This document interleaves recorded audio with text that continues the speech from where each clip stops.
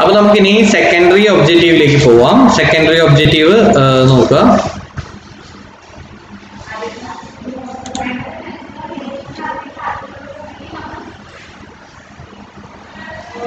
അതായത് subsidiary objective secondary objective or subsidiary objective നമ്മളെപ്പോഴും വിചാരിക്കുക ഓഡിറ്ററിന്റെ കടമ എന്നുള്ളത് മറ്റേന്താ പറയാ ഫ്രോഡ് കണ്ടുപിടിക്കുക. എറേഴ്സ് കണ്ടുപിടിക്കുക എന്നുള്ളതാണ് ഓഡിറ്ററുടെ കർമ്മം. പക്ഷെ അതൊരു സെക്കൻഡറി ഒബ്ജക്റ്റീവ് മാത്രമാണ്. പ്രൈമറി ഒബ്ജക്റ്റീവ് എന്നുള്ളത് ഈ ബുക്സ് ഓഫ് അക്കൗണ്ട്സ് ഒരു ട്രൂ ആൻഡ് ഫെയർ വ്യൂ തരുന്നുണ്ട് കൃത്യത കാണിക്കുന്നുണ്ട് എന്നുള്ള കാര്യമാണ് പ്രൈമറി ഒബ്ജക്റ്റീവ് എന്ന് പറഞ്ഞാൽ. സെക്കൻഡറി ഒബ്ജക്റ്റീവ് ആണ് actually detection and prevention of errors അതായത് എറേഴ്സ് ഉണ്ടെങ്കിൽ അത് കണ്ടുപിടിക്കുക മറ്റേ ഉണ്ടെങ്കിൽ അത് തിരുത്തുക.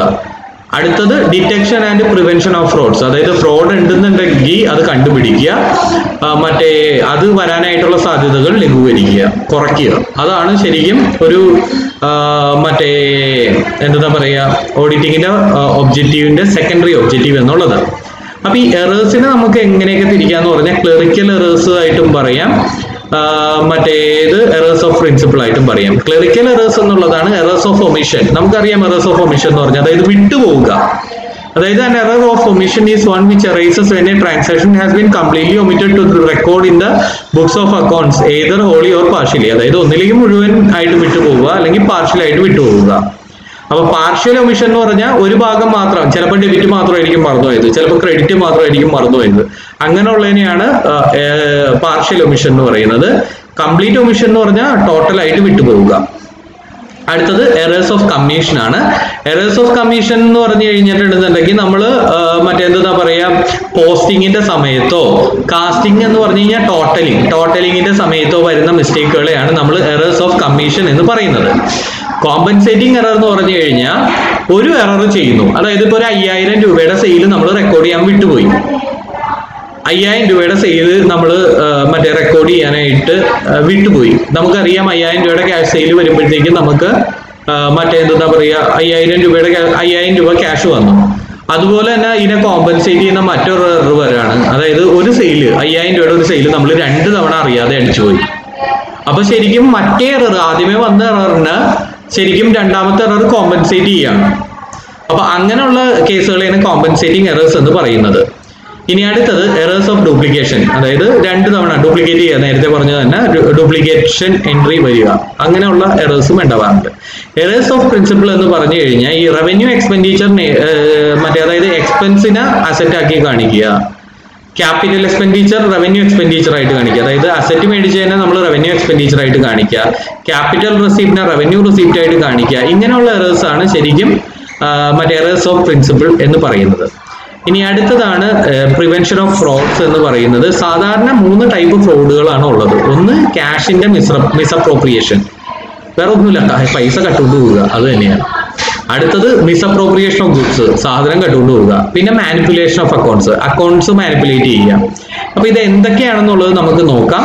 മിസ്അപ്രോപ്രിയേഷൻ ഓഫ് ക്യാഷ് എന്ന് പറഞ്ഞു കഴിഞ്ഞാൽ fraudulent appropriation of cash belonging to another person by whom it has been entrusted അതായത് ഒരാൾക്കുള്ള ക്യാഷ് മറ്റേതെന്താ പറയുക തട്ടിയെടുക്കുന്ന രീതിയിലുള്ള രീതിയിൽ. അതായത് ഒന്ന് സപ്രഷൻ ആവാം.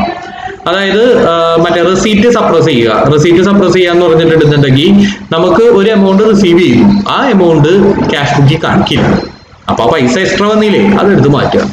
അടുത്തത് by entering lesser amount on the counterfoil and misappropriating അതായത് ഒരാൾ ഒരു ലക്ഷം രൂപ അടച്ചു എന്ന് വിചാരിക്കുക. അയാളുടെ കയ്യിൽ ചിലപ്പോൾ പതിനായിരം രൂപയെ കാണിക്കുന്നുള്ളൂ. അങ്ങനെ വരാം.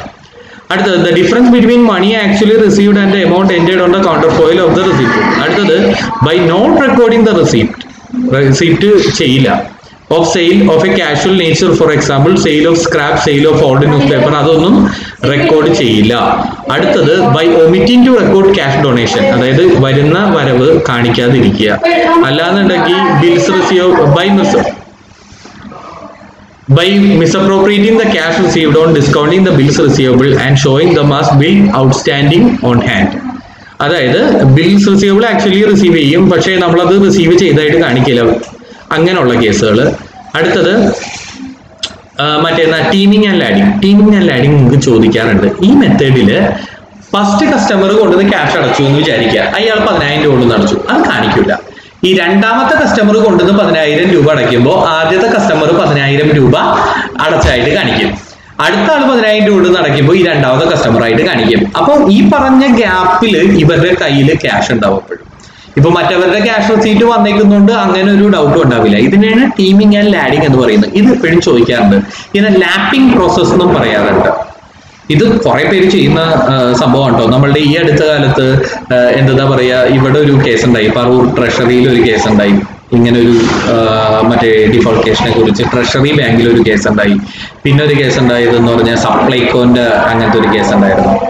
അടുത്തത് by suppressing the cash sales by not recording them or by treating the cash sales as credit sales അതായത് മറ്റേ ക്യാഷ് സെയിലായിരിക്കും ആക്ച്വലി നടന്നേക്കുന്നത് പക്ഷെ ക്യാഷ് സെയിലായിട്ട് കാണിക്കില്ല. അത് കടത്തിനാണ് കൊണ്ടുപോയത്. അതായത് ക്രെഡിറ്റ് സെയിലാണെന്ന് പറയും.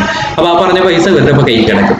അടുത്തത് misappropriating the sale process by B P P sales or sales of goods on approval basis by treating the transaction as goods received or not approved goods received ആയിട്ട് കാണിക്കില്ല. അടുത്തത് ബൈ അണ്ടർ കാസ്റ്റിംഗ് റെസിപ്റ്റ്സ് ആയി total of the cash book അതായത് total ചെയ്യുമ്പോഴത്തേക്കും എന്താ പറയുക എല്ലാം ഉണ്ടാവും. പക്ഷേ ടോട്ടൽ എഴുതുമ്പോഴത്തേക്കും അഞ്ച് ലക്ഷം രൂപയുടെ സ്ഥാനത്ത് നാല് ലക്ഷത്തി അറുപത്തി അയ്യായിരം രൂപ എഴുതിയാലും മുപ്പത്തി അയ്യായിരം രൂപ കൈ കിടക്കും. ഇതൊക്കെയാണ് മറ്റേ സംഭവങ്ങൾ വരുന്നത്. ബാക്കിയും കുറച്ച് ഫ്രോഡ്സ് ഉണ്ട്. അത് അടുത്ത വീഡിയോയിൽ ചെയ്തു തരാം താങ്ക്